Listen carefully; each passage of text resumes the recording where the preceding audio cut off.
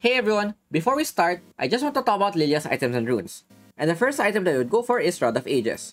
Roa is a key item for Lillia because as an AP bruiser, the additional durability that it gives will make her last longer when it comes to the team fights. Roa also gives AP, mana, as well as a scaling component, which allows her to deal damage as well. Then the next item that I would go for is Rabadon's Death Cap. A lot of people usually go Liandry's or Riftmaker, but after testing, I would rather go for the Rabadons since it gives the most burst out of the three items. It also allows her to reach her power spike, and it also has a better carrying potential overall. Third item that I would go for is the Steel-Plated Stasis. You could go for the Mercury Threads if they have a lot of crowd control, but Stasis is a must for this champion. This item synergizes well with Lillia because what you could do is flash in, first skill, ulti, and before the sleep procs, you could use your stasis, and when your stasis finishes, the opponents will be asleep, allowing you to deal a lot of damage right after. Then the next item that I would go for is Riftmaker, another great item for Lillia, giving her additional HP, AP, ability haste, as well as Omnivamp, making her even more sustainable in fights. After this, we would go for the Rylai's Crystal Scepter, this synergizes well with Lillia's kit. If you're able to spam your first skill on multiple opponents, they would get slowed and you would kite them even harder. This also gives additional HP and AP, making you tankier as well. Last item is a flex, it depends on the opponents. If they are AD heavy, you could go for the Crystalline Reflector, making you even more tankier. If they have a lot of bruisers, you could go for the Liandry's Torment. Or if they have a lot of AP, you could go for the Abyssal Mask as well. All of these items are very effective on Lillia, and it's up to you on what you want to build. Going to the runes, the first rune that I would go for is Conquer. This is pretty good on Lillia because it allows her to have more AP as well as an Omnivamp, making her even more sustainable in fights. Second rune that I would go for is Hunter Vampirism. This would give Lillia AP as well as even more Magic Vamp, increasing her overall lifesteal. In combination with the Hunter Vampirism, Conqueror, Riftmaker, Roa passive, and her first skill, this would give her a lot of overall sustain. Next rune that I would go for is Hunter Titan. Since one of Lillia's weakness would be hard crowd control, this would decrease the crowd control duration, as well as giving her a bit more health. If they don't have much CC, another rune that you would go for is Conditioning, making her more tanky even when we get to the later stages of the game. Last rune that we go for is Hunter Genius, because you would want the additional ability Haste so that you would be able to spam your skills even more. An alternative for this would be the Pathfinder, but I don't find this as necessary since she already has a lot of move speed and she doesn't run out of mana as easily because of the Roa. Overall, I would go for the Hunter Genius because Lillia needs a lot of cooldown reduction. And that is it for Lillia's item and runes, and I will see you guys in game.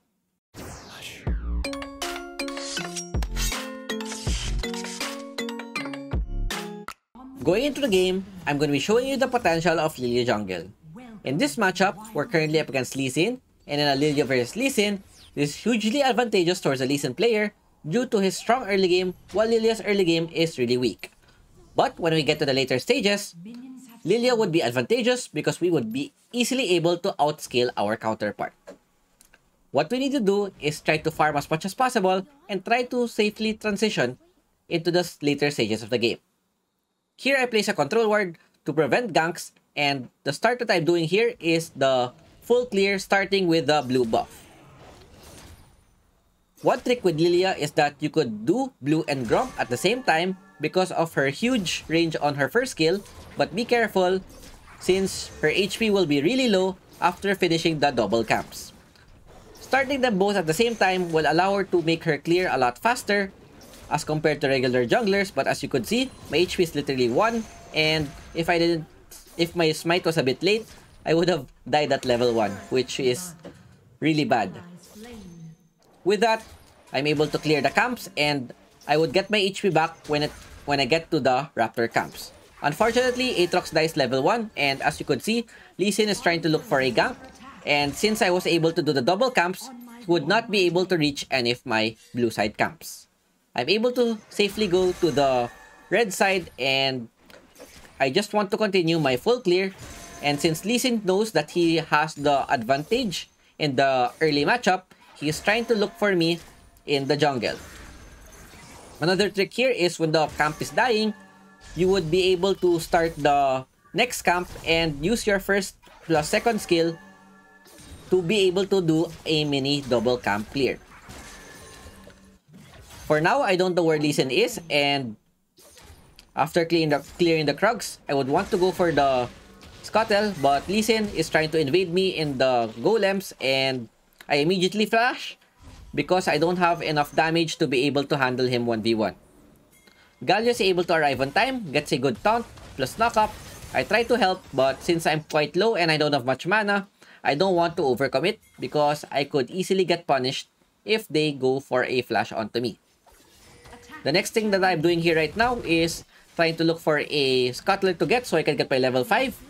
Gragas gets a great room, takes down the Lee Sin, which allows me to be able to get the Scuttle pretty easily. But Yone is able to take down the Galio, so I have to help my teammates. Gragas is really low, and as soon as I reach level 5, ulti plus second skill, Gragas with a great cask for follow-up, allowing us to get a lot of kills.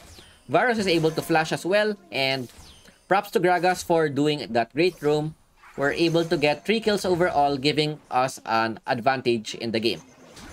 It is also important that we're able to delay Lee Sin, and we're able to scale properly so that we could transition well when it comes to the later stages of the game.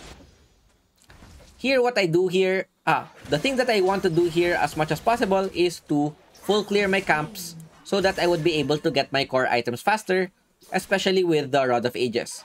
Because Rod of Ages is a scaling item, you would want to get this as soon as possible so that you could stack the additional uh, stats. Lee Sin does another invade, so what he really wants to do is to deny me from being able to farm properly. He's able to get my blue, which is a good job for him. Galio gets caught. He's able to ulti out, but it's not far enough, and the opponents are able to catch him off guard. So the opponents are doing well, even though they are a bit behind early, they still are trying to apply as much pressure as they can because they know that I can't do much early game. Lillia's power spike will be at two items once I'm able to complete my Rabadons and be able to stock my Rod of Ages properly. While I'm not yet at that point, I would need to farm as much as possible and Lillia's clear is quite fast as compared to the average junglers because of her ability to be able to double clear camps.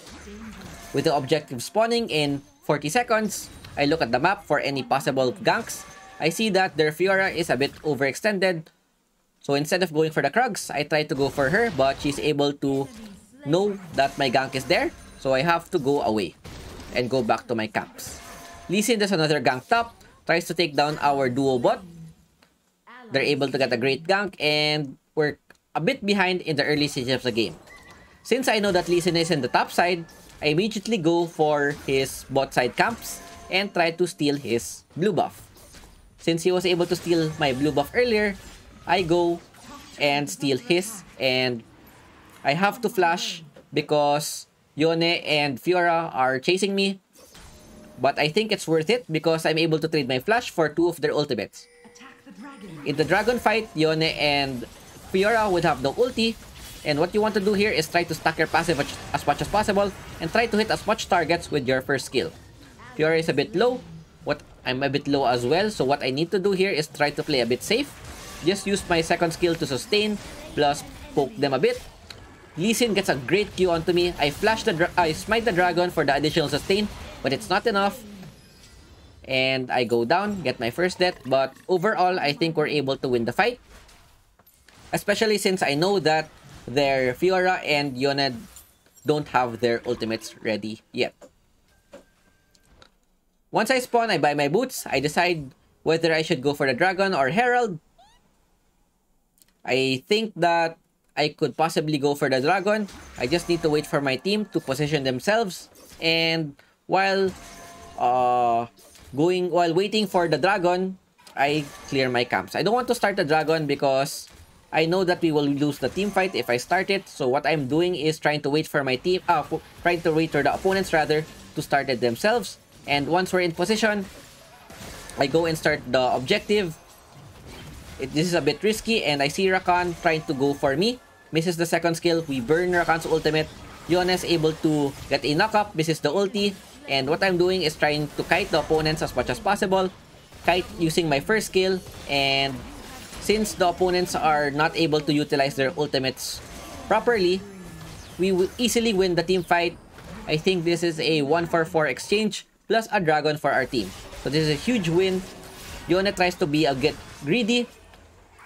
I used my ultimate but I'm not sure why the sleep didn't proc. I think my passive woke him up or something. A bit unfortunate but we're still able to get the lead. Yone plays a bit greedy, great stasis by Gragas, and we get another kill. One tip that I will give you is to always stack Lillia's passive.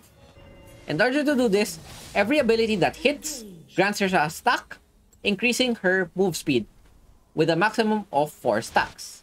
This is really important because Lillia's greatest strength is her mobility and having a lot of move speed would allow her to kite the opponents as well as dodge skill shots. What's happening now is that I'm forced to give Herald because I'm not in the position, but it's okay since I'm able to get a lot of gold overall. After clearing the red buff, I try and look for a gank bot. Aatrox and Fiora are fighting each other. Good play. Getting a solo kill. Lee Sin comes up, so I have to help my teammate. Lee Sin gets a great kick, but I have my third skill for the flow, slow, flash in, and use my first in order to secure the kill. This is really good because looking at the map, their duo lane is at the mid lane, mid side. Their Yone is at the top. With this position, no one is defending bot and we're able to get the first tower even though the opponents have Rift Herald.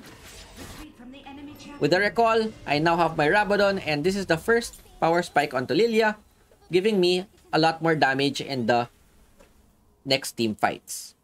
I try to use my third skill just in case and Another one thing about Lillia's third, third skill is that you could combine this with her ultimate. Her ultimate has no range and it is something that you could even cast uh, half the map.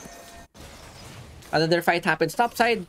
My team just disengages, which is really good because as much as possible, I would want to camp. I would want to clear my camps before doing anything else in the map.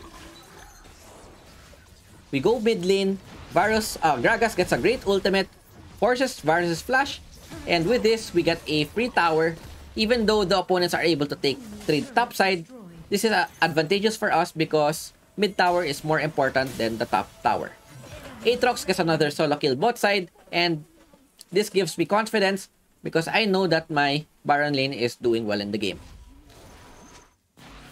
What I do here is try to clear mid side, look for any possible rooms, Galio gets taken down. Three of their members are up. I use my third skill to check if there's any opponents in the side. First skill to face check the bush. And I decide to not pursue because the opponents have a lot of burst. If Rakan's second skill hits me, combining with Lee Sin's combo, then I would instantly die, which is not good for us. So instead, I just go home and buy my Zhonya's, which will make me really strong in the next team fight combining Flash first skill ultimate, then Stasis. Then once my Stasis finishes, then I would have addition my skills would be up and I could deal even more damage. So that's the best combo if you want to use your Stasis properly. Rakan, looking for the face check, immediately punish with a third skill, first skill plus second skill, and look at the burst that I could give once I'm able to complete my Rabadons. With this, I try to go for an invade, but as soon as I see Varus, I decide to step away. Lee Sin is able to get the blue buff. Gragas goes in with the body slam flash. And since Varus has no more flash from earlier, we're able to punish the opponents. Looking at the top side, I see that Gra Galio and Yone are both fighting each other. Fortunately, Galio wins the fight. And this would give us a free tower.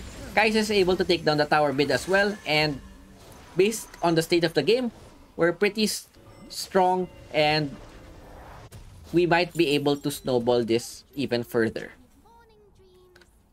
What we want to do now is wait for the next objective, which is spawning in 15 seconds. We're pretty strong. I have my flash, I have my stasis, and a lot of skills. They're trying to chase down Aatrox. I use my first skill, able to sleep the Fiora. Unfortunately, Aatrox falls down, but we're able to trade him one for one. With the Rift Herald up, I look at the opponent's position and I see that Varus is at the top side. this would signal that the opponents might be giving up the Herald for free because they're outnumbered. And I see that Lee Sin is going to the Dragon, immediately ping the, the objective since I see that they're at the top side. But since the opponent's numbers are lacking, they're not able to start the Dragon on time. What I do here instead is try to chase the third skill for the slow, and first skill for the execute. When using your first skill, you would want to hit the outer ring as much as possible because it deals double damage. That's why I'm always spacing back. And look, if my outer ring hits, we're able to burst the Varus and this shows the power of the Rabadon's Death Cap, giving us a huge power spike as compared to the early game. Galio gets a great E plus flash but Lee Sin is able to escape. It's okay because we're able to take down the mid inhibitor which is huge for us. I cancel my TP just in case Lee Sin might be able to catch me there and I don't want to give any unnecessary death. Dragon is up. I'm deciding whether I should start the dragon or go for the reset. In the end, I just go for the dragon since we're quite ahead in the game. There's fruits in the side. Lee is there to try and steal but I have my first skill plus smite in order to secure the objective pretty easily. Lillia's execute is quite strong especially if you have more items. With the Rift Maker, this would increase my overall sustain and damage, and this would favor me the longer the team fight goes. That's why Rift Maker is a good third item, giving me all the stats that I need. With the camp spawning, I go for another double clear, and Lillia's pretty good with this. Looking at the speed, I'm able to clear my camps pretty fast, and another thing that's good about Lillia is that she's also able to clear the minion waves pretty quickly. What I do here is I try to go for two camps before going for my team. This is a bit risky. I place a ward in the bush just in case. And I see Lee Sin. I try to escape with the, all of the move speed that I have. Use my ultimate, but I'm out of position. Lee Sin's able to kick me. We take him down. Unfortunately, we, we get taken down as well, but my team is here to the rescue we're able to get a 2 for 2 exchange, which is not the best, but at least we get some kills in exchange. Rakan does another second skill, but he has no follow-up. Kai'Sa with a great ultimate inside, getting a lot of free kills, and overall, we're able to win the fight. I think everyone is ahead right now, and the only thing that we need is to take Baron so that we could end the game. Looking at the inventory, I have my Rylai as my fourth item because Rylai not only makes me more tankier, it also gives a slow which allows me to kite or chase down the opponents much more easily. So every first skill or even the third skill that hits would grant an additional slow which is very very good especially if I'm able to hit multiple targets. What I'm doing now is trying to take my camps again. Red buff is up. My teammates are quite confident and they go for the recall. I ping Baron, go for a deep ward just in case they go for the contest. I see that Lee Sin is trying to push bot. Pretty confident that I can handle him right now. I outscale even though we're at the same level. Look at the combo that I do. First skill ulti, second skill, then first skill again. And instantly burst down Lee Sin. Not only is Lillia a DPS champion, she also has the potential to become a burst champion with all of the damage that I'm doing. I try to limit test a bit out of position. I miss I miss my flash per skill but this opens up Baron because their jungler is currently down. Lillia's Baron is decent. If I had Liandry's, the only advantage of Liandry's is that her objective takings will be a bit faster but overall I'd rather get the Rabadon for the raw damage that it provides. After taking the Baron, their blue buff is up. I decide and take it. Then the next thing that I do is I try to look for a catch. I don't want to overchase because Rakan and Varus has a lot of crowd control. One of Lillia's main weakness is hard CC because this will allow her not this because she would not be able to kite if she gets stunned or snared. Varus ultimate hits. Great ultimate by Galio.